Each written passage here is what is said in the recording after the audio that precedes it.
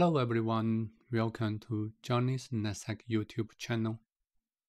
I have published a couple of videos regarding DD Windows system to a free Oracle VPS instance. As you can see from the screen, I have Windows 2022, 2012, 2016, Windows 7.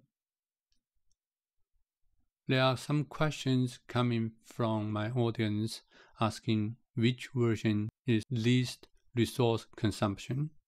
I personally like Windows 7 and Windows 2016. If you want to know the least one is Windows 2003, 2008 will be least operating system to use the memory and CPU, but they are outdated. So Windows 7, Windows 2016 both are still good in our environment if you want to use them. Again, there's a risk Oracle might ban your account because you're violating their terms of service.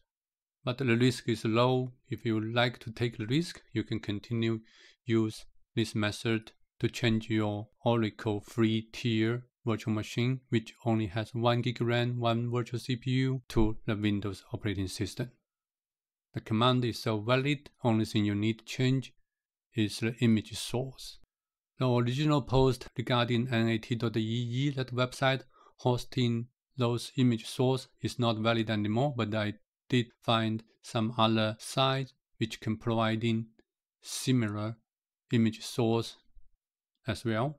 So you can find out those image source from my blog post DD Windows OS to Cloud Linux. Again, only thing you need to change is the image source from this command. Just one command from your Ubuntu system, then you can switch it to the Windows operating system.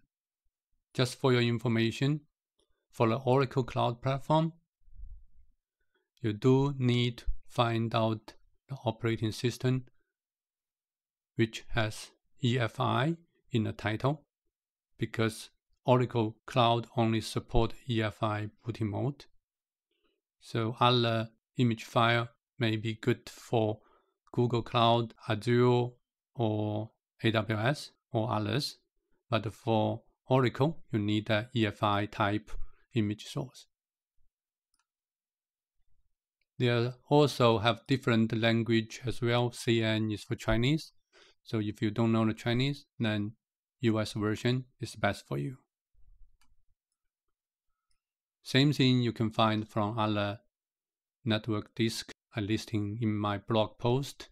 So find the right one if you want to use and uh, put the command into your Ubuntu VM. Then in 30, 40 minutes, you will get the new Windows operating system VM in the cloud. In this video, I'm going to show you Windows 2019 process.